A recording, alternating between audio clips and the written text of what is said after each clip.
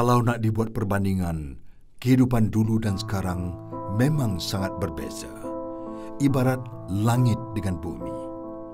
Dulu semuanya harus dilakukan daripada sifar. Minum, makan, pakai. Dan begitulah keadaannya saban hari. Apa yang ada pada hari itu hanya cukup untuk hari itu saja.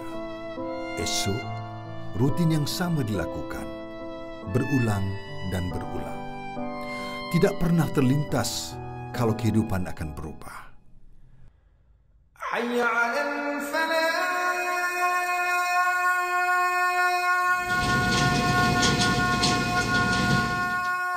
Kata orang, peluang hanya datang sekali. Bersama-sama harapan, impian akan menjadi kenyataan.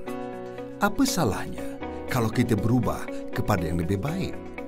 Tapi caranya pun mestilah dengan cara yang baik. Kemajuan bukanlah bererti kita perlu mengenepikan hak pihak lain. Kelestarian flora dan fauna sentiasa terjaga bagi memastikan habitatnya tidak terganggu. Kemajuan sesebuah negara juga bergantung kepada kemajuan taraf kehidupan bangsanya.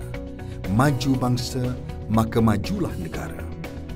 Bagi memastikan kemajuan yang ingin dikecapi bersama berjalan lancar, Velcra sentiasa komited dan patuh terhadap undang-undang yang tertakluk. Keselamatan pekerja sentiasa menjadi keutamaan Velcra. Pakaian lengkap yang telah digariskan menjadi perkara pokok sebelum pekerja menjalankan tugas alam sekitar terpelihara dengan pematuhan Velcra terhadap Akta Pengurusan Sisa Pepejal dan Pembersihan Awam 2007 dan Akta Racun Makhluk Prosak 1974. Velcra percaya bahawa pekerja merupakan modal insan yang menjadi tonggak terhadap kestabilan sesebuah syarikat. Justru, keperluan asas pekerja dipenuhi bagi memastikan kedua-dua belah pihak berpuas hati.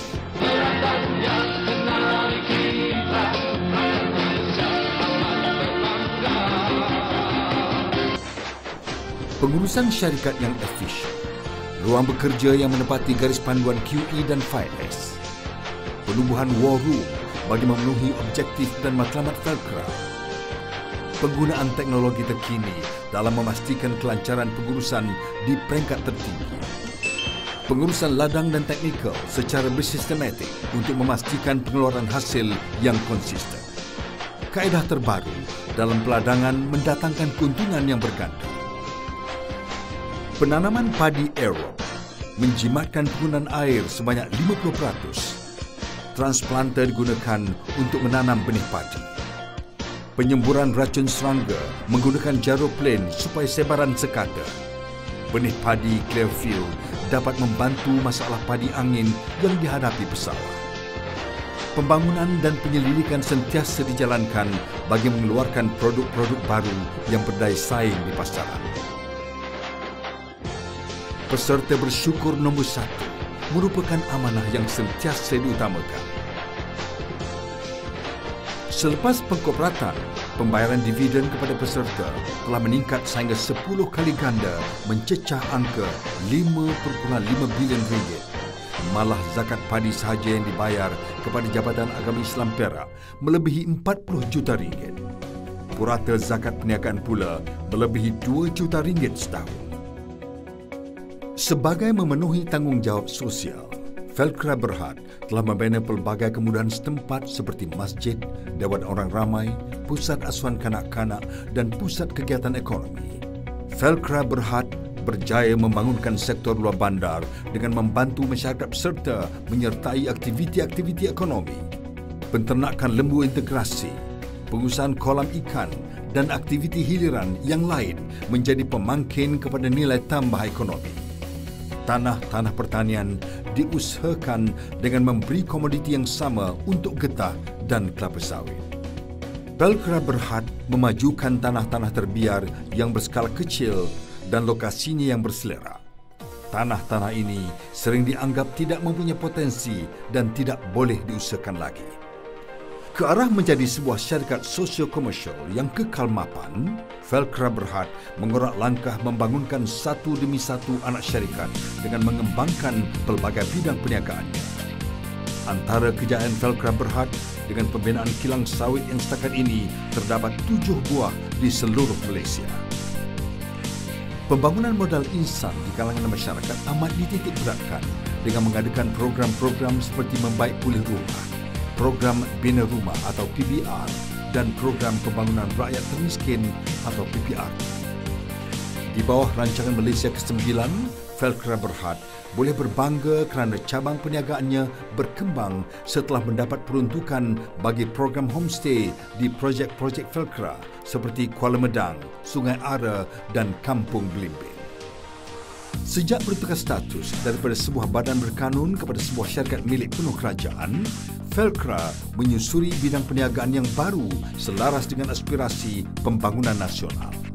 Misi Velcra mewujudkan anak syarikat supaya keuntungan tidak terkeluar daripada Velcra Berhad dan boleh dinikmati bersama peserta bagi melahirkan masyarakat perdagangan dan perindustrian Bumi Putra.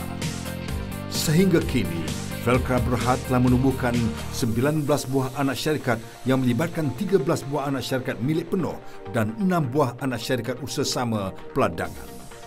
Dengan penubuhan anak-anak syarikat ini, perniagaan kumpulan Velcra Berhad telah berkembang dengan pesat dengan urus niaga yang telah melebihi 3 bilion ringgit setahun. Bilangan kaki tangan juga telah melebihi seramai 3,200 orang. Produk-produk yang dikeluarkan oleh kumpulan Velcra Berhad telah mula menempusi pasaran domestik dan antarabangsa. Sepanjang 48 tahun penubuhannya, Velcra berjaya membangunkan sektor luar bandar dengan membantu masyarakat peserta menyertai aktiviti-aktiviti ekonomi negara dan seterusnya meningkatkan taraf hidup dan nilai kehidupan mereka. Velcra merancakkan lagi pembangunan luar bandar sejajar dengan agenda kerajaan iaitu program transformasi luar bandar sebagai sebahagian daripada dasar transformasi nasional. Pusat-pusat transformasi luar bandar, Rural Transformation Center, telah dan bakal didirikan adalah menjadi kebanggaan Velcra bagi memenuhi peranannya dengan menyediakan prasarana dan ameniti sosial. Hasilnya mampu memacu peningkatan kepada peserta dan peningkatan kualiti hidup kumpulan sasar. Velcra membangunkan sebuah projek besar yang dinamakan Perumahan Generasi Kedua, Gen 2, di seberang Perak dan Seri Makmur, Pekan Pahang. Projek perumahan ini merupakan satu program penyusunan semula kampung PPSK yang akan memberi manfaat khususnya kepada para peserta dan masyarakat luar bandar di sekitarnya. Velcra Berhad adalah sebuah government link company atau GLC yang unik kerana dapat melaksanakan fungsi perniagaan dan fungsi CSR serentak dan seimbang. Kemajuan bangsa sama dikecapi. Velcra Berhad terus menerajui projek sebagai sebuah syarikat sosio-komersial menerusi penggunaan teknologi terkini dan produktiviti tertinggi.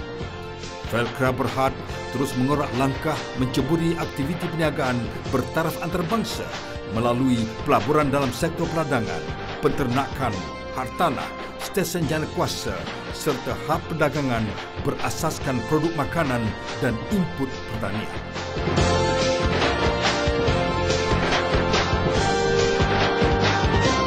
Velcra Berhad akan terus unggul membina harapan dan masa depan negara.